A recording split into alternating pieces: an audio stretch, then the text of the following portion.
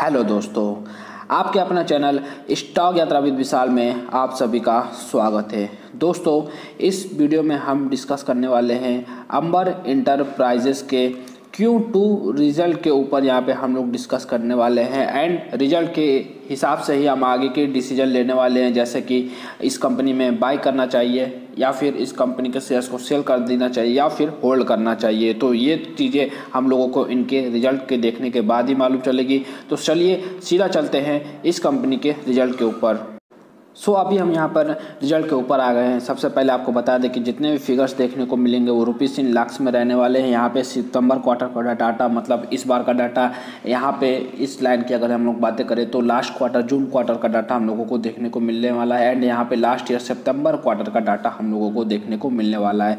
सो आप यहाँ पर सबसे पहले देख सकते हैं कि अक्षर बहुत ही छोटे हैं, ठीक है? तो यहाँ पर हम लोग जूम करके चीज़ों को देखने वाले हैं ताकि अच्छे से यहाँ पर समझ में आए। तो सबसे पहले दोस्तों, अगर यहाँ पे हम लोग टोटल इनकम की यहाँ पे बातें करें, ठीक है? तो यहाँ पे आप देख सकते हैं कि लास्ट ईयर की बातें करें तो तेईस, तीन सौ बयालीस लास्ट क्वार्टर की बातें करें तो अंठावन, एक सौ पच्चीस एंड अभी की परफॉर्मेंस की बातें करें तो पैंतीस, तीन सौ छप्पन हम लोगों को देखने को मिल जा रहा है। सो यहाँ पे आप देख सकते हैं कि अच्छा साइन हम लोगों को क्वार्टरली बेसिस पे देखने को नहीं मिल रहा है। तो ये एक बोल सकते हैं कि निगेटिव पॉइंट यहाँ पर शुरू में ही हम लोगों को देखने को मिल रही है। लेकिन अगर यहाँ पे हम लोग ईयरली बेसिस पे अगर देखें तो हम देख सकते हैं कि यहाँ पे रेवेन्यू में हम लोगों को जंप देखने को मिल रही है, जो कि एक अच्छी बात है।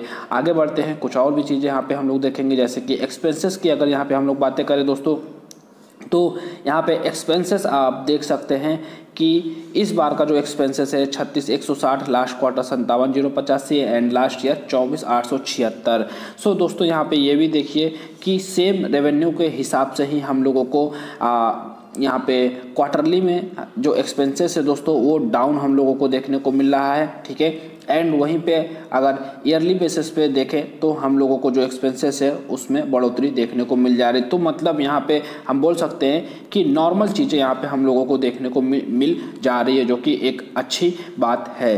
देन दोस्तों आते हैं, यहाँ पे हम लोग अभी देख लें कुछ और करे चीज़ें। यहाँ पे एडजस्टमेंट जैसे हुई हो तो अगर उसको यहाँ पे एक बार देख लें तो यहाँ पे हम लोग आगे बढ़ने वाले उसके बाद। तो ऐसा देखा जाए तो यहाँ पे कोई भी ऐसी इस तरह की एडजस्टमेंट नहीं है।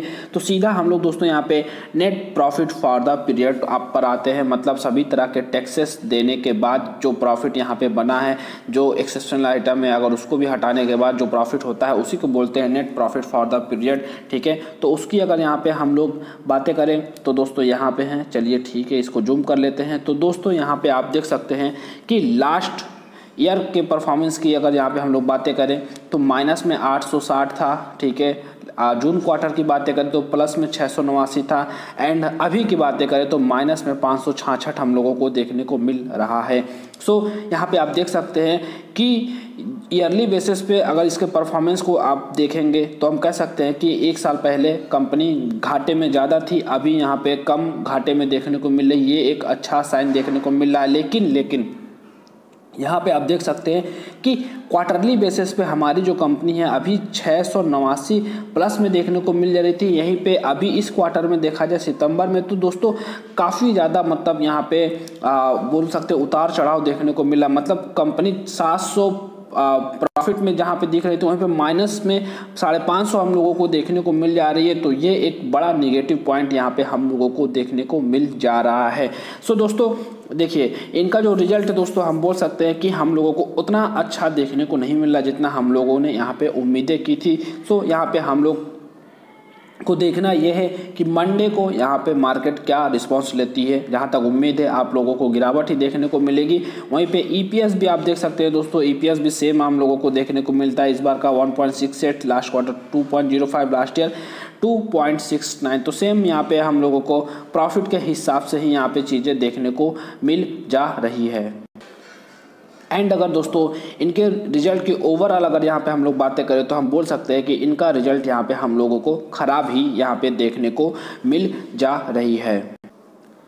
अभी हम सीधा अपने कंपनी के ऊपर आ गए, जिसमें आप देख सकते हैं कि इन्हीं का यहाँ पे हम लोगों ने रिज़ल्ट देखा, जो कि एकदम खराबी हम लोगों को देखने को मिला है। एंड यहाँ पे आप देख सकते हैं कि फ्राइडे को मार्केट ने यहाँ पे बता भी दिया था हिंट भी दिया था कि इसमें हम लोगों को गिरावट मतलब इनका जो रिज़ल्ट है वो ज़्यादा अच्छा देखने को नहीं मिलेगा। इसी वजह से आप देख सकते हैं कि चार परसेंट से ज़्यादा की गिरावट इसमें देखने को मिल रही है।